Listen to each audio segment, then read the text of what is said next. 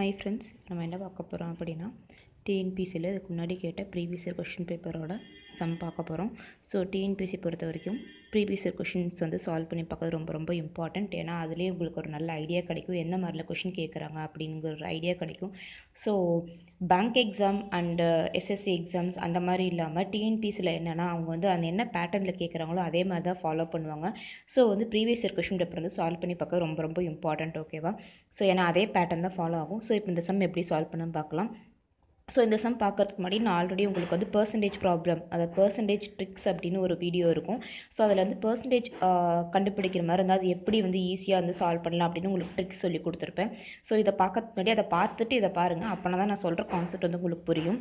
So இப்போ இந்த sum பாருங்கள் a percentage the percentage of literacy in a village is forty nine percentage find the number of illiterates in the illiterates in the village. If the population is 7600 ஓகேவா so literacy லிட்ரஸினா என்ன? எவ்வளோ பேர் படிச்சிருக்காங்க அப்படிங்கிறத கொடுத்துட்டாங்க.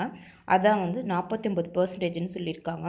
If the num find the number of illiterates அப்போ படிக்காதவங்க எத்தனை பேர் அப்படிங்கிறது கேட்குறாங்க if the population is seven thousand six hundred அப்படின்னு சொல்லிட்டாங்க. அப்போ அந்த மொத்த பாப்புலேஷன் என்ன? செவன் தௌசண்ட் சிக்ஸ் ஹண்ட்ரட் அப்போ அந்த மொத்த பாப்புலேஷன் நம்ம எப்படி எடுத்துப்போம் அப்படின்னா நூறு பர்சன்டேஜ் அப்படின்னு சொல்லி கன்சிடர் பண்ணிப்போம் ஓகேவா ஸோ அடுத்து என்ன சொல்கிறாங்கன்னா ஒரு கிராமத்தில் உள்ள தமிழில் படித்து பாருங்கள் ஒரு கிராமத்தில் உள்ள மொத்த மக்கள் தொகை ஏழாயிரத்தி அறநூறு. அதில் கல்வி அறிவு பெற்றவர்கள் நாற்பத்தொம்பது சதவீதம். எனில் கல்வி அறிவு பெறாதவர்களின் எண்ணிக்கை யாது அப்படின்னு கேட்டிருக்காங்க ஓகேவா ஸோ அது எப்படி சால்வ் பண்ணணும்னு பார்க்கலாம். ஸோ ஃபஸ்ட்டு பாருங்கள் ஸோ இந்த மாதிரி சம்மில் ரொம்ப கஷ்டப்படவே தேவைன்னா தேவையில்லை. நம்ம பார்த்தோன்னே ஆன்சர் சொல்லிடலாம். ஸோ இங்கே என்ன கொடுத்துருக்காங்க? ஃபார்ட்டி நைன் பர்சன்டேஜ் ஓகேவா ஸோ ஃபார்ட்டி நைன் பர்சன்டேஜ் வந்து படித்தவங்க இருக்காங்க அப்படின்னா அப்படி படிக்காதவங்க எத்தனை பர்சன்டேஜ் இருப்பாங்க? ஃபிஃப்டி ஒன் பர்சன்டேஜ் இருப்பாங்க ஓகேவா ஏன்னா டோட்டல் பர்சன்டேஜ் வந்து நமக்கு ஹண்ட்ரட்னு தெரியும். ஸோ படித்தவங்க வந்து லிட்ரஸி லிட்ரஸி பர்சன்டேஜ் கொடுத்துருக்காங்களா? ஸோ அது வந்து படித்தவங்க நாற்பத்தொம்பது பர்சன்டேஜ் கொடுத்துட்டாங்க. அப்போ படிக்காதவங்க எவ்வளோனா ஐம்பத்தொரு பர்சன்டேஜ் ஓகேவா ஸோ அப்போ அந்த ஐம்பத்தொரு பர்சன்டேஜ் வந்து இந்த ஏழாயிரத்தி அறநூறுங்கிறது நூறு பர்சன்டேஜ் ஓகேவா ஸோ நம்ம கண்டுபிடிக்க வேண்டியது ஐம்பத்தி ஒரு பர்சன்டேஜ் கண்டுபிடிக்கணும். அது கண்டுபிடிச்சிட்டா அப்படின்னா நமக்கு வந்து இல்லிட்ரேட்டியா எவ்வளோ அப்படின்னு தெரிஞ்சிடும் ஸோ மொத்த பர்சன்டேஜ் வந்து நூறு பர்சன்டேஜ் ஆல்ரெடி நாற்பத்தொம்பது பர்சன்டேஜ் வந்து படித்தவங்கன்னு சொல்லிட்டாங்க. இப்போ படிக்காதவங்க எத்தனை பர்சன்டேஜ் இருப்பாங்க அப்படின்னா நூறு பர்சன்டேஜ் மைனஸ் நாற்பத்தொம்போது சீக்குவல் டு ஐம்பத்தி ஒரு பர்சன்டேஜ் தான் படிக்காதவங்க இருப்பாங்க. ஸோ அப்போ அந்த ஐம்பத்தஞ்சு ஐம்பத்தி ஒரு பர்சன்டேஜ் என்ன அப்படிங்கிறத கண்டுபிடிக்கிறோம். So seven thousand six hundred இருக்குது ஓகேவா so seven thousand six hundred hundred percentage நமக்கு தெரியும். அப்போது இதில் பாதி என்ன? அதான் ஃபிஃப்டி பர்சன்டேஜாக வரும். So seven thousand six hundred நார்மலாக செவன்ட்டி சிக்ஸ்னு எடுத்துக்கோங்க. செவன்ட்டி சிக்ஸில் டிவைட் பை டூ பண்ணிங்கன்னா என்ன வரும்? செவன்ட்டி டிவைட் பை டூ பண்ண தேர்ட்டி ஃபைவ் வரும். செவன்ட்டி சிக்ஸ் டிவைட் பை டூனா தேர்ட்டி எயிட் வரும்.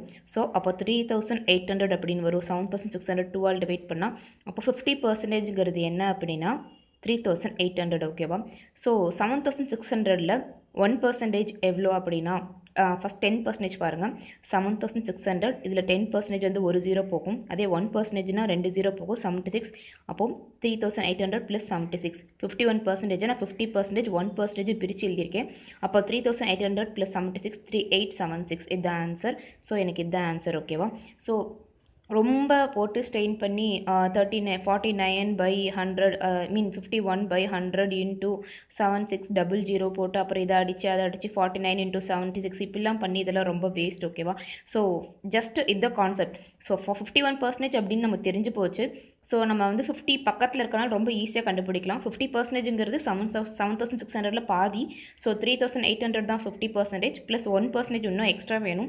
ஸோ செவன் தௌசண்ட் சிக்ஸ் ஹண்ட்ரடில் வந்து ஒன் பர்சன்டேஜ் என்ன செவன்ட்டி சிக்ஸ் அது ரெண்டுத்தையும் ஆட் பண்ணால் த்ரீ எயிட் செவன் சிக்ஸ் இதுக்கு வந்து நீங்கள் பென் பேப்பர் எடுத்து கால்குலேட் பண்ணி அதெல்லாம் வேஸ்ட் பார்த்தோன்னே அடிச்சிடலாம் ஆன்சர் ஸோ இது இப்படி தான் சால்வ் பண்ணணும். ஸோ பர்சன்டேஜ் ப்ராப்ளம்ஸ் வந்து ஈஸியாக எவ்வளோ ஈஸியாக சால்வ் பண்ணலாமோ அவ்வளோ ஈஸியாக சால்வ் பண்ணலாம். நீங்கள் இது இப்படியே ப்ராக்டிஸ் பண்ணிங்க அப்படின்னா கண்டிப்பாக வந்துடும் உங்களுக்கு. ஸோ டெய்லி அப்டேட்ஸ் தெரிஞ்சுக்க மறக்காமல் சேனலை சப்ஸ்கிரைப் பண்ணுங்கள் அண்ட் மறக்காமல் பெல் பட்டனை ப்ரெஸ் பண்ணுங்கள் தேங்க்யூ ஃப்ரெண்ட்ஸ்